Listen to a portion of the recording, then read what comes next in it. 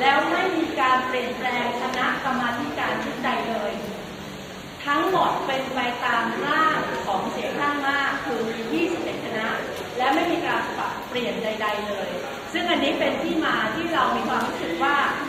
วุฒิสมาชิกเสียงข้างน้อยไม่มีความหมายใด ๆ เลย ไม่ได้รับการเคารพเลย ข้อตกลงกันยังไงก่อนเข้าที่ประชุมพอเข้าประชุมแล้วก็จะใช้เสียงข้างมากเนี่ย